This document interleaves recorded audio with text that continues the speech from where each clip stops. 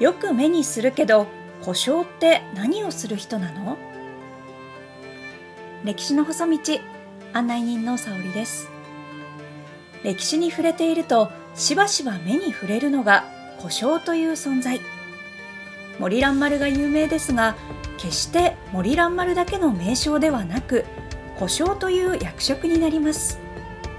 つまり森蘭丸以外にも故障は多々います。むしろ故障そのものは決して珍しい存在ではなく多くの武士にいたものです。しかし故障が何をしていたのかはあまり語られない部分。そこで今回は故障という存在をクローズアップしてみるとしましょう。故障とは大河ドラマや映画漫画など戦国時代を舞台にした作品では偉い武士の周りにはボディーガードのような男性が何人かいます。何かあれば殿様を守る盾となり誰かが来ればまずは取り次ぐ。時には殿様に代わって相手に指示を出したり叱責したりさらには相談役となったり。また身の回りの世話全般を行うなど現代社会の秘書とボディーガードと世話役全てを兼ね備えた存在として描かれることが多いですがそれこそが故障です。一般的には若年の男性が故障となっていますがこれは若い男性でなければならないことはありません。しかし年齢を重ねた男性は故障としてではなく成長して他の仕事をこなす傾向にあるからです。映画やドラマの場合ほぼ特定の人間がつきっきりになりますが一般的には故障は何人も用意されていることが一般的で位が高い武士ともなればかなりの数の故障を付き従えることもあります。故障のお仕事とは故障のお仕事は先にも挙げたように主君の身の回りのことになります。その点では現代社会のマネージャーに相通ずるものがあります。スケジュール管理だったり何かを知らせたり主君への連絡などについてはまずは故障が取り継ぐこともあります。また戦国時代ともなれば戦もありますが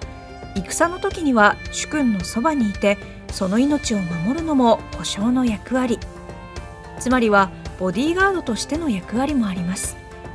一般的に位の高い主君ともなれば最前線にいることはありませんので主君と一緒に後方で戦線の状況を見守る形ではありますが何らかの形で主君に危険が及ぶこともありえますので油断はできません。また戦の際には常に伝令が走りますがその取り次ぎをすることもあります。さらには平時においては話し相手にもなります。もちろん主従関係という大前提がありますのでズバズバと意見を言うといったことはなかなかなかったでしょうが時には自分の意見を求められることもあったでしょう。そして多くの人がご存知のようにいわゆる夜の相手を務めることもありました。現代の価値観からは少々違和感を覚える人もいるかもしれませんが当時は特に珍しいことではありませんでした。このように故障は主君の身の回りのこと全般を行う役割なのでとても大切な存在であることがわかるのではないでしょうか。故障出身の武将は多い。故障から武将になった武将は実はとても多いです。幼い頃は主君の故障として主君の身の回りの世話をしつつ主君の近くで戦国時代のさまざまなノウハウを得て成長とともに武将として才能を発揮するのでしょう。前田利家井伊直政片倉景綱直江兼次石田三成堀秀政福島正則加藤清正など多くの武将が幼い頃は故障として主君のそばにいました。主君側としても幼い頃から自分の身の回りにいた故障は信頼できる存在。戦国時代ともなれば肉親が敵に回ってしまうことも珍しくありませんでしたが故障という近い存在は肉親以上に親愛の情が深まっているケースもありますので故障として仕えた後信頼できる家臣となるのもよくわかる話です。故障も決して楽ではない？マネージャーでありボディーガードであり世話役。この事実だけでも故障が決して楽なお仕事ではないことがわかるのではないでしょうか。しかしそれ以上に大変なことがありました。それはひがみ妬みです。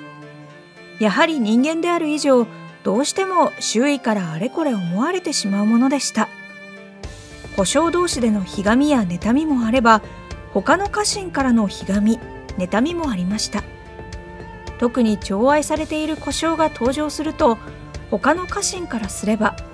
命を張っているのは自分たちなのに安全なところにいながら気に入られてといった怒りを買ってしまうことも珍しくありませんでした。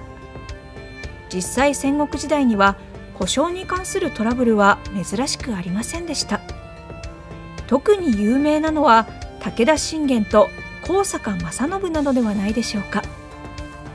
正信もまた信玄の故障でしたが信玄の故障は正信だけではありませんでした。他の人となんて遊んでいません。ごめんなさい。信じてください。といった他の故障相手との仲を疑われたことを必死になって正信に弁明している。ある意味主従関係が逆転している書状が現代にまで残されているのです。このように気持ちの部分にて様々な問題が起きることもあったのでしょう。この話だけでも故障が決して主君のそばで楽をしているだけの存在ではないことがわかるのではないでしょうか。故障になるためには？では故障になるためには何が必要なのか？これは様々です。例えば家臣が主君に人質的に子供を預け主君側が故障として用いるケースは比較的多いです。人質として扱うよりも故障にして身の回りの世話をしてもらった方が将来的に信頼できる家臣になる可能性を秘めていますし子供を預けた側の心情面も良いことでしょう。またふと見つけた男子を故障にするケースもあります。身寄りのない子や旅の道中で見つけた聡明な子を故障として取り立てるケースもまた案外多いです。戦国時代の主君はいわば自分自身がルールです。旅先でなんとなく気に入った男子を見つけたら自分の手元に置いておきたいと思えば取り立てることもあったのでしょう。他にも演者から預けられたりなど故障への道は様々だったようですが裏を返せばスパイがいる可能性も危惧されていたようです。故障上がりの家臣が多い大名といえば故障出身者が家臣に多い武将といえば豊臣秀吉です。福島正則加藤清正石田三成など名だたる武将たちがもともとは秀吉に故障として仕えていました。故障出身者が多い理由として秀吉自身が成り上がりであるため不代家臣がいなかった点が大きいとされています。先にもお伝えしたように時に故障は他の家臣からのひがみ妬みを受けてしまうこともありました。しかし昔ながらの家臣がいない秀吉はとにかく一人でも多くの信頼できる家臣が欲しかったことでしょう。秀吉の力に屈服した家臣は多々いましたが先祖代々橋場家豊臣家に仕えていたという家臣などいません。だからこそ故障として近くにいてくれた人間こそ信じられる存在だったことから武将として取り立てていったのではとささやかれています。もちろん取り立てられた側の才覚もあります。秀吉の故障から成り上がった武将たちを見れば決して能力のない人間を無理に取り立てたのではないとわかるはずです。まとめ。このように故障という存在は様々な意味合いが含まれている存在であることがわかるのではないでしょうか。